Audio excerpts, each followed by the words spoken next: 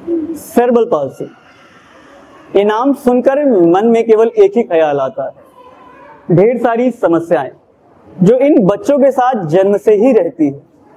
चलने में, उठने में, बैठने में, अनेकों प्रकार की समस्याओं का सामना ये बच्चे जन्म से ही करते हैं। आज से 20 से 30 वर्ष पूर्व की बात की जाए तो बहुत कुछ इन बच्चों के साथ नहीं किया जा सकता था। और एक्सरसाइज ही एक मात्र उपचार था इन बच्चों के लिए, जीवन में आगे बढ़ने का। लेकिन आज से 20 वर्ष पूर्व की बात करें तो बोटोलिनम टॉक्सिन नाम की एक इंजेक्शन मार्केट में आई, जिसका प्रचार प्रसार बहुत तेज़ी से पेपर्स में टेलीविज़न के माध्यम से बहुत तेज़ी से फैलने लगा। और ये माना गया कि सर्बल पार्टी के क्षेत्र में ये इंजेक्शन एक चमत्कारी उपाय के रूप में हो सकती है। लेकिन समय धीरे धीरे बीतता गया। और समय के साथ साथ इसका उपयोग भी काफ़ी तेज़ी से बढ़ा। लेकिन कहते हैं ना कि जिन चीज़ों का उपयोग तेज़ी से बढ़ता है, प्रचार तेज़ी से होता है, उन चीज़ों के साथ अलग अलग भ्रांतियाँ भी विश्व में फैलती हैं। एक समय इसका उपयोग जितनी तेज़ी से ऊपर की ओर बढ़ा, उतनी ही तेज़ी से इसकी उपयोगिता कम भी हुई और इसका ग्राफ लगातार नीचे की ओर आने लगा। क्या कारण रहे होंगे? क्या ये खर्चीला ज़्यादा था? क्या इसके कोई दुष्प्रभाव बच्चों में देखने को मिलते थे? क्या इसके स्थान पर कोई नई तकनीक आ गई थी जिसका उपयोग किया जाने लगा? क्या कारण रहे होंगे? ऐसी कई तरीके की क्वेरीज हमारे पास भी आई। हमारे YouTube चैनल पे, हमारे कमेंट बॉक्स इन तरीके की क्वेरीज से भरे पड़े हुए हैं। उन्हीं क्वेरीज के सॉल्यूशन के लिए आज हम ये कार्यक्रम लेकर के आप लोगों के लिए आए हैं। आज हमारे साथ स्टूडियो में मौजूद होंगे डॉक्टर जितेंद्र कुमार जैन सर, जिन्होंने अपने करियर की शुरुआत आज से 25 वर्ष पूर्व 2000 से शुरू की, लेकिन 2005 से लगभग 20 सालों से सेरेबल पाल्सी के क्षेत्र में लगातार काम कर रहे हैं। सर ने ऐसी कई नई नई तकनीकें भी इजाद की है इन बच्चों के इलाज के लिए, जो सच में इन बच्चों के जीवन में एक चमत्कार साबित हो रही है। उन विषयों को लेकर भी हम आप लोगों के लिए सेशन लेकर के आएँगे। लेकिन आज मुख्यतः हम लोग सर के साथ चर्चा करेंगे बोटुलिनम टॉक्सिन के ऊपर। और आपके द्वारा पूछे गए जो भी क्वेरीज हैं, उनके उत्तर पाने की कोशिश करेंगे। तो आइए चलते हैं अपने स्टूडियो में और डॉक्टर जितेंद्र कुमार जैन के साथ बातें करते हैं, कोशिश करते हैं उन सारे उत्तरों को पाने की जो आपने हमसे पूछे हैं। नमस्कार दोस्तों जैसा कि हमने आप लोगों को बताया कि हमारे साथ इस वक्त स्टूडियो में मौजूद हैं हमारे डॉक्टर जितेंद्र कुमार जैन सर। आज हम लोग सर के साथ चर्चा करेंगे बोटुलिनम टॉक्सिन के विषय में और वो सारी भ्रांतियाँ जो हमारे नन्हे मुन्ने बच्चों के अभिभावकों के मन में फैली हुई हैं, उन सब के उत्तर हम अपने सर से आप लोगों तक पहुँचाने की कोशिश करेंगे। तो आइए आज की इस चर्चा की शुरुआत करते हैं। सर, आपसे मेरा पहला प्रश्न है, ये बोटुलिनम टॉक्सिन क्या होती है? इसकी शुरुआत कहाँ से हुई? और सर्वल पालसी बच्चों में इसका क्या उपयोग है? बॉटलिनम टॉक्सिन जो होता है, एक तरह का टॉक्सिन होता है, जो कि मांसपेशियों में जो न्यूरोमस्कुलर जंक्शन होता है, जहाँ से मांसपेशियाँ कॉन्ट्रैक्ट करने की शुरुआत होती है, जहाँ पे न्यूरो रिलीज़ होता है तो वहाँ पे इंजेक्शन दे दिया जाए तो उसको ब्लॉक कर देता है, जिसकी वजह से मांसपेशियों में वीकनेस आ जाती है और जो सख्तपन है वो कम हो जाता है। सबसे पहले इसको आतंकवादी गतिविधियों में लोग पहले शामिल करते थे, लेकिन जो मेडिकल फ़ील्ड में बहुत इसका इस्तेमाल शुरू हुआ। लगभग उन्नीस सौ पंचानवे से 2000 के बीच में शुरुआत हुआ, जो अच्छे ढंग से शुरुआत हुई है। और 2000 से 2005 के बीच में तो बहुत तेज़ी से इसका जो इस्तेमाल मेडिकल फ़ील्ड में हुआ। तो उसी को लेकर के सरबल पासी बच्चों में इसका इस्तेमाल होना शुरू हुआ। और सरबल पासी में क्या होता है कि मांसपेशा जो टाइट होती है स्पास्टिक सरबल पालसी या डिस्टोनिक सरबल पालसी है तो एक स्पेसिफिक ग्रुप ऑफ़ मसल्स होती हैं जो प्रभावित होती हैं तो उसके मांसपेशियों में जहाँ पे कंडेंस न्यूरोमस्कुलर जंक्शन वहाँ पे दे दिया जाए तो टाइटपन इनका कम हो जाता है, जिससे उनको थेरेपी कराना, काम कराना थोड़ा सा आसान हो जाता है। और जो मैंने शुरुआत किया था 2004 से 5 के बीच में हमने इसको शुरुआत किया था तो उस समय लगा था कि बहुत एक अच्छा इम्पैक्ट सर्बल पालसी बच्चों में रहा। लेकिन हर चीज़ों का एक उतार चढ़ाव होता है और मेडिकल में जब तक हम हर चीज़ें प्रूफ समय के साथ जैसे जैसे आती जाती, उस हिसाब से हम लोग ट्रीटमेंट प्लान भी बदलते जाते हैं। तो बॉटलम टॉक्सिन पहले भी इस्तेमाल होता था, अभी भी होता लेकिन कम होता है। सर, जब बात करते हैं बोटुलिनम टॉक्सिन के इस्तेमाल की तो इसे इस्तेमाल करते समय किन किन बातों का विशेष ध्यान रखना आवश्यक होता है और इसका प्रभाव बच्चों पर कितने समय तक देखने को हमें मिलता है? देखिए बॉटलिम टॉक्सिन लगाने से पहले, सबसे पहले तो हमें देखना है कि ये राइट इंडिकेशन है स्पेसिफिक बच्चे में है कि नहीं है। राइट इंडिकेशन का मतलब है कि ऐसी स्पॉस्टिसिटी हो जो कि थेरेपी ब्रेस प्लास्टर से ठीक नहीं हो पा रहा है और वो हमारे थेरेपी कराने में प्रॉब्लम कर रहा है। पहला तो राइट इंडिकेशन हो गया। उसके बाद में हम ध्यान देते हैं कि डोज कितना लगना है। ज़्यादा लगाएँगे तो उसको टॉक्सिसिटी हो सकती है। बहुत कम लगाते हैं तो उसका इम्पैक्ट नहीं पड़ेगा। तीसरी चीज़, कैसे लगाते हैं, ये ध्यान देने की ज़रूरत है, क्योंकि प्रॉपर एग्जामिनेशन के बाद हमें देखना होता है कि ऐसे कौन कौन सी मांसपेशियाँ हैं जो कि हमको टाइटनेस बहुत ज़्यादा है और हमको थेरेपी करने में प्रॉब्लम्स होती हैं। तो वो सेलेक्ट कर लेते हैं।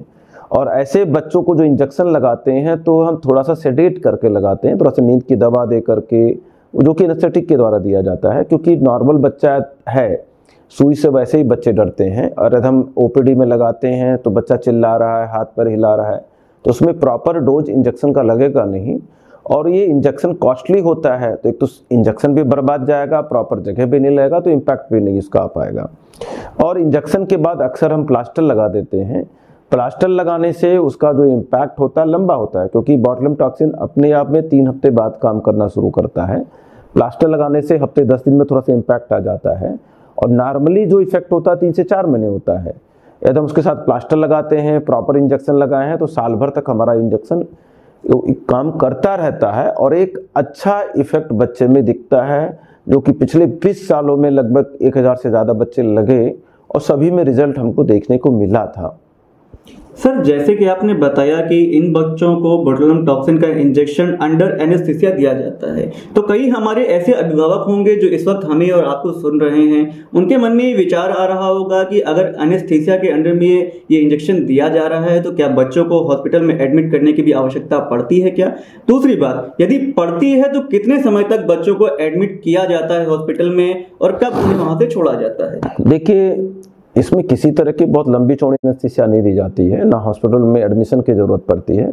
बच्चा इतना कंफर्टेबल हो जाए कॉम हो जाए, थोड़ा सो जाए, उसके लिए एनेस्थीसिया देते हैं, उसमें सडेशन देते हैं, जिसका इफ़ेक्ट तीन से चार घंटे ही रहता है। तो बच्चे के पेरेंट्स को, बच्चे को लेकर के हॉस्पिटल में तीन चार घंटे रुकना होता है, उसके बाद उसका खाना पीना शुरू हो जाता है और बच्चे को डिस्चार्ज कर दिया जाता है और वहाँ पे किसी तरह के एडमिशन की ज़रूरत नहीं पड़ती है।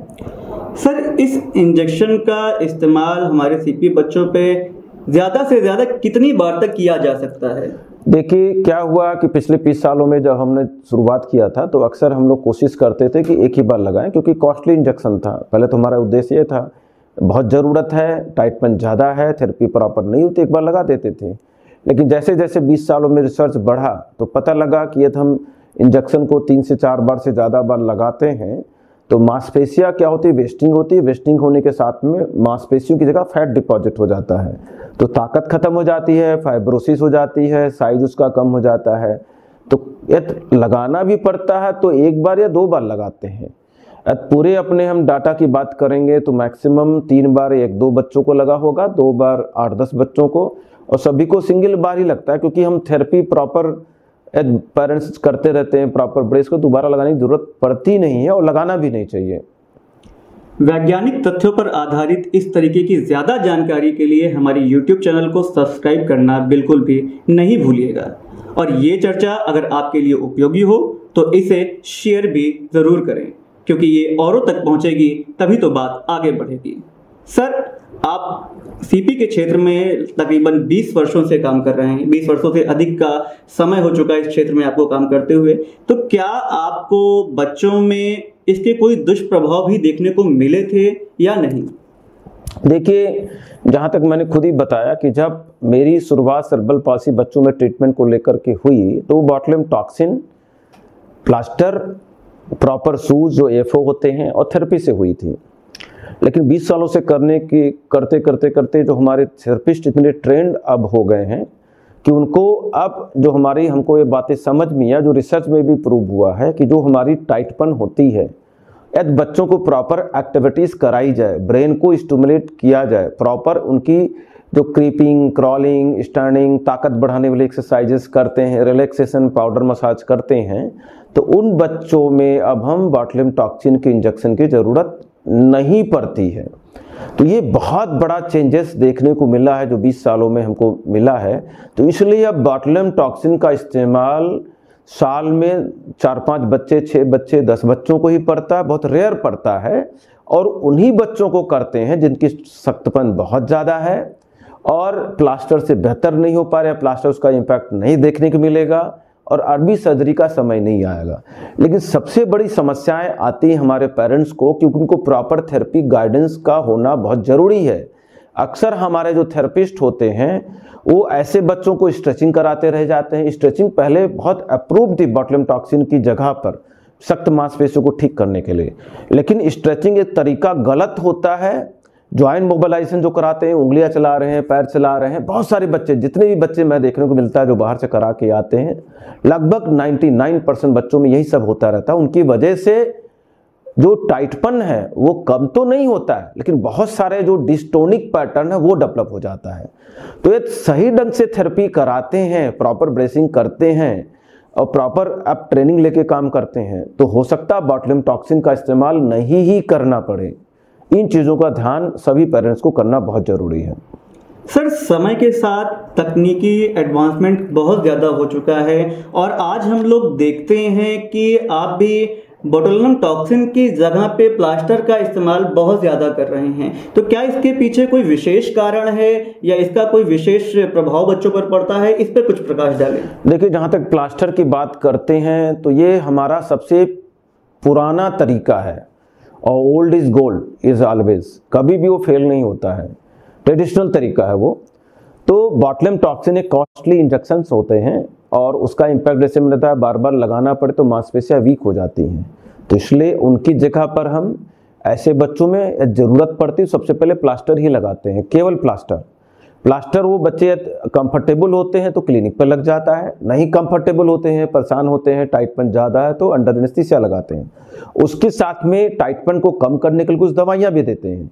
तो जो हमको पिछले पाँच छः सालों में रिज़ल्ट देखने को मिला कि जो प्लास्टर प्लस दवाइयाँ प्रॉपर थेरेपी ब्रेस वो हमारे botulinum toxin therapy plus braces के बराबर हैं। तो यह इम्पैक्ट दोनों का एक जैसा है तो बॉटलम टॉक्सिन ऐसे बच्चों में क्यों लगाया जाए? इन चीज़ों को देखते हुए प्लास्टर का इस्तेमाल ज़्यादा करते हैं बॉटलिम टॉक्सिन का इस्तेमाल भी करते हैं, बहुत रेयर हो गया है आजकल लगाने के लिए। हमारे त्रिशला फाउंडेशन परिवार की यही खूबसूरती है कि हम अपने बच्चों के साथ साथ उनके अभिभावकों का भी ख्याल रखते हैं। कॉस्टलियर चीज़ों के इस्तेमाल को कम से कम करने की कोशिश की जाती है ताकि बच्चे हमारे सही इलाज के ज़रिए ठीक हो सकें और मुख्य धारा के साथ जुड़ सकें। सर अगला प्रश्न मेरा आपसे ये है कि कई पेरेंट्स के मन में हमारी ये भी प्रश्न उठता है कि यदि किसी भी बच्चे में एक बार या एक से अधिक बार बोटोलम टॉक्सिन का या प्लास्टर का उपयोग किया जा चुका है तो क्या आने वाले भविष्य में ये चांसेस हैं कि उन बच्चों को सर्जरी की आवश्यकता नहीं पड़ेगी? देखिए सर्जरी की आवश्यकता पड़ेगी कि नहीं पड़ेगी, इसका बॉटलम टॉक्सिन प्लास्टर से कोई रिलेशन नहीं है। देखिए सर्जरी हमें क्या हमारा उद्देश्य होता है कि सरबल पालसी बच्चा जो है, उसकी मैक्सिमम इफिशेंसी तक उसको लेकर के जाए। उसको जो एक्टिविटीज़ की सिखाने में, जो थेरेपी कराने में जो समस्याएँ आ रही हैं, क्यों आ रही हैं कि मांसपेशियों में टाइटपन आ जाता है, हाथ पैरों में तिरछापन आ जाता है जिसकी वजह से अपना काम सुचारू रूप से नहीं कर पाते हैं, केवल उनके लिए हम सर्जरी करते हैं। इसके अलावा अक्सर सर्बल पासी बच्चों में जिन्हें चलना फिरना इंडिपेंडेंट अपने आप नहीं होता है, कूल्हा उतरने का भी चांसेस होता है, उसकी सर्जरी करते हैं। तो देखिए, हर चीज़ों का उद्देश्य अलग अलग होता है। हमारा उद्देश्य बच्चे को ठीक करना और ऐसे सर्बल पालसी बच्चों को 16 साल तक फॉलो अप में रहना बहुत सख्त ज़रूरत होता है। यदि हम 16 साल तक ऐसे बच्चों में मेहनत करते रह गए तो हो सकता है आपका बच्चा अवश्य अपने पैरों पे खड़ा होकर के चलेगा। इसके साथ में उसको ज़रूरत पड़ सकती है, छड़ी की, वॉकर की, एल्बो क्रचेस की।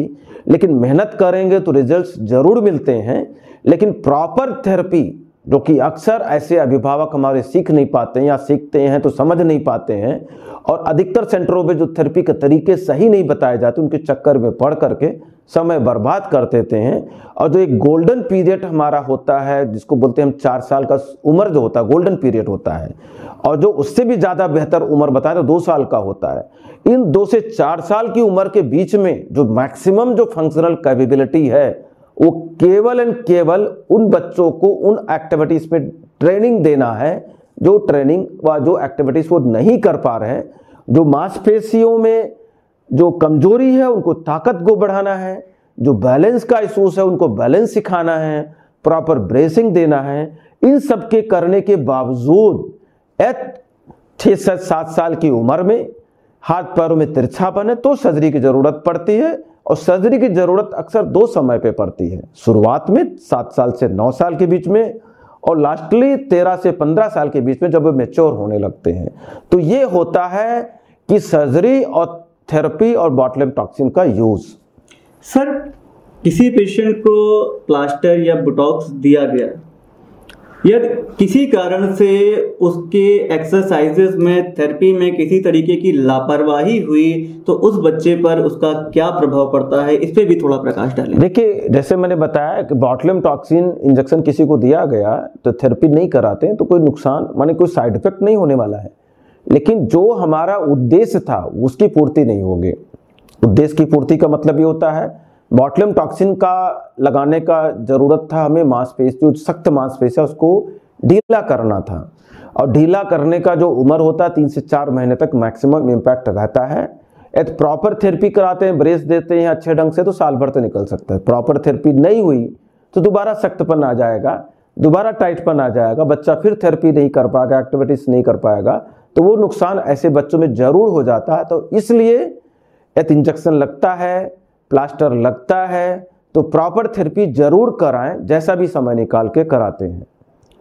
इस सेशन का अंत करने से पहले सर मैं आपसे चाहूँगा यदि आप अपनी ओर से कोई सुझाव हमारे अभिभावकों के लिए देना चाहें कोई टिप्स देना चाहें तो वो आप दे सकते हैं। देखिए जो हमारे सरबल पासी बच्चे हैं उनमें बहुत सारी समस्याएँ होती हैं चिकित्सीय समस्याएँ होती हैं जैसे झटकों का आना बोल ना पाना बार बार बीमार पड़ना, देखना, सुनना, बहुत सारी समस्याएँ होती हैं। और पूरी दुनिया में जो रिसर्च चल रहा है, उससे एक बात तो ये प्रूव हो चुकी है कि हम सही ढंग से तन, धन, मन से लगते हैं तो सौ में 80 प्रतिशत बच्चे अपने पैरों पे खड़े होकर के चल सकते हैं।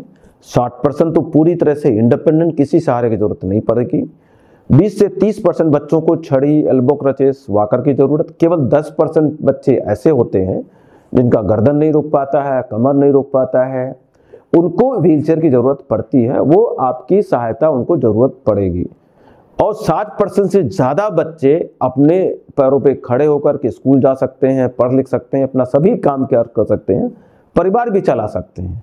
लेकिन जो समस्याएँ आती हैं शुरुआती उम्र से जब बच्चा पैदा होता है, उसके छः महीने पे प्रॉपर डायग्नोसिस बन जाती है, उसी समय से ब्रेन का स्टूमुलेशन करने की ज़रूरत है।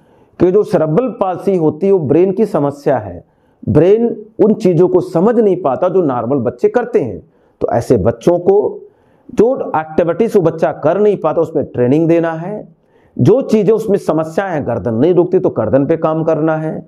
देखने में प्रॉब्लम है तो विजन स्टूमुलेशन करना है। कमर नहीं रुकती तो कमर की ताकत बढ़ाना है और उठना, बैठना, चलना, फिरना क्रॉलिंग क्रिपिंग में ट्रेनिंग देना है।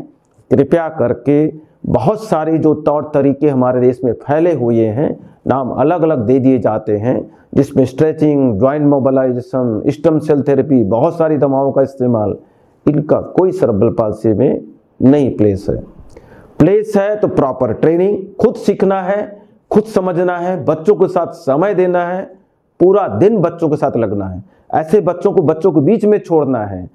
बड़े हो जाने पर प्ले स्कूल स्कूलों में डालना है। ऐसे सब कर लेते हैं। तो प्रत्येक बच्चों का भविष्य हम उज्जवल बना सकते हैं।